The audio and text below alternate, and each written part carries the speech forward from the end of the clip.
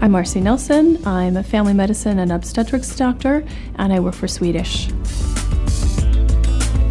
My approach to a patient in the exam room is to try to strike some common ground. I like to come in, introduce myself, even if I know them, and find out what they're up to.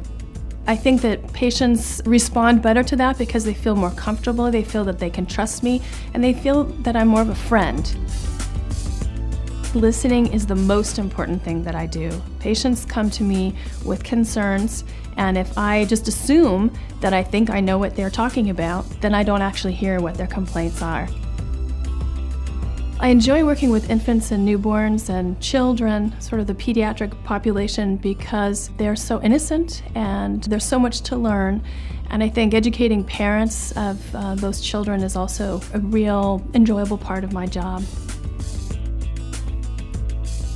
My approach to caring for patients involves advocacy. I definitely think that patients need to feel like they're part of a team in the decision making process. It's not my style to tell people what to do and shake a finger.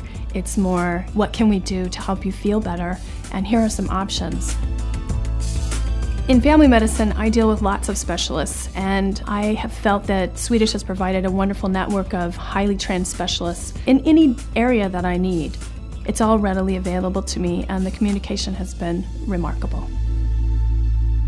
I do find what I do fulfilling. At the end of the day, I feel like I've helped people. I feel like I'm a part of a community. I feel like I'm part of a family. And when I see these milestones in life and I'm there to help guide people through this, that's very rewarding to me.